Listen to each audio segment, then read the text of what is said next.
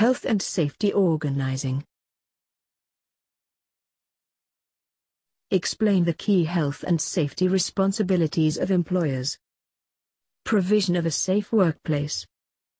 Provision of safe plant and equipment, substances and agents. Provision of information and training to employees and others. Provision of emergency procedures. Cooperation with other employers at their workplace. Cooperation with their employees, consultation. Not charging employees for measures implemented for health and safety.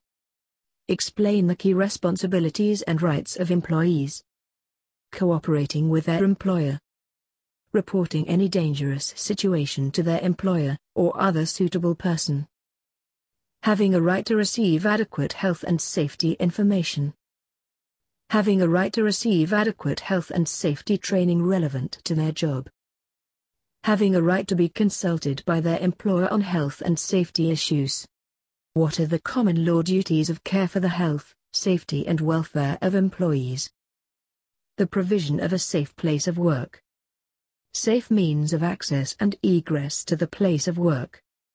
Safe systems of work. Safe plant and equipment. Reasonably competent fellow employees. Adequate levels of supervision, information, instruction and training. Identify the general and specific duties of employer. Safe plant and systems of work. To ensure safety in the use of articles and substances. To provide information, instruction and training. To maintain a safe workplace, including access and egress. To provide a healthy work environment. Prepare a health and safety policy. To consult with employee representatives to form a safety committee under prescribed circumstances. Explain four key differences between civil law and criminal law. The different objectives of the two systems, one to provide a remedy and the other to punish. The burden of proof required, a balance of probabilities as opposed to beyond all reasonable doubt.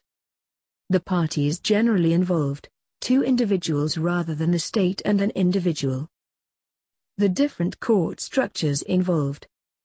Criminal law generally written down in statute or statutory instruments and with civil liabilities largely defined in common law by judicial precedent.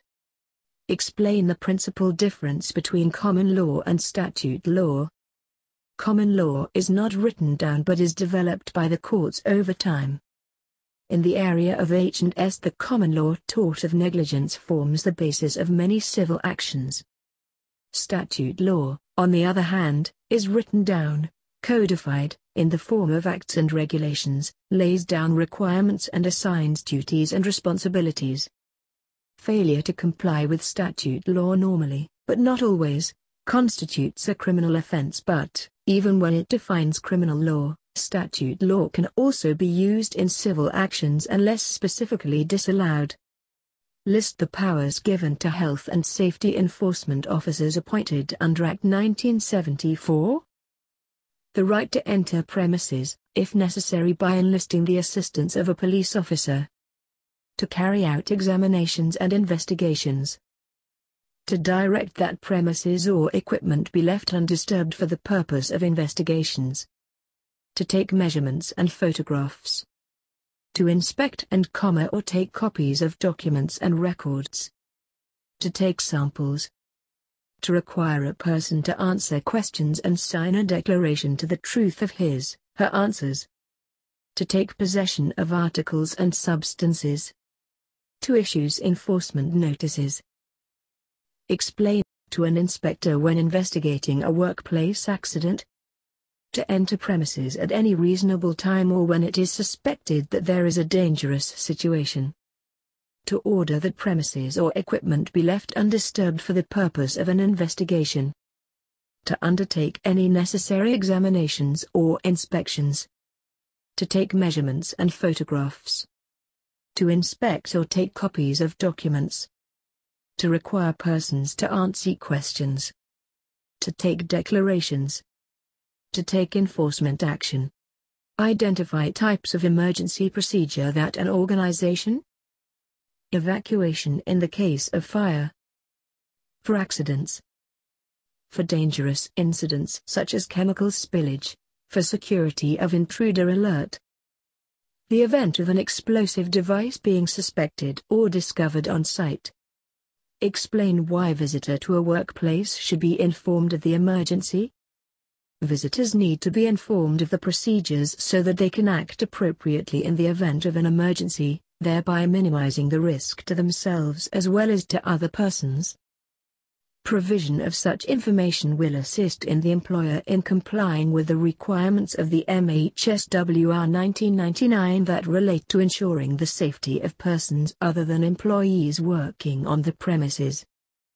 The general duty owed to persons other than employees under Section 3 of the HASAWA is also of relevance, as is the employer's common law duty of care.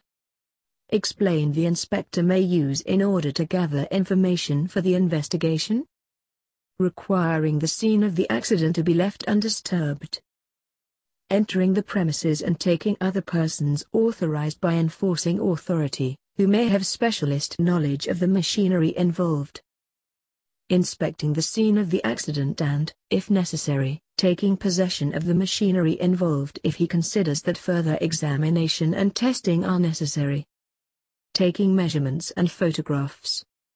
Questioning interested parties, for example witnesses, supervisors, managers, etc., and taking written signed statements of their answers, being proved with any document relating to the accident which is required to be kept by law or which may assist in the investigation.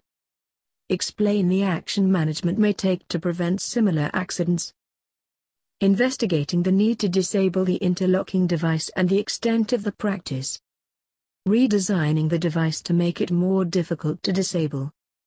Introducing refresher training for employees on the operation of the machine improving the quality of supervision and introducing a regime of regular inspections and monitoring. Disciplinary measures for non-compliance with laid down procedures.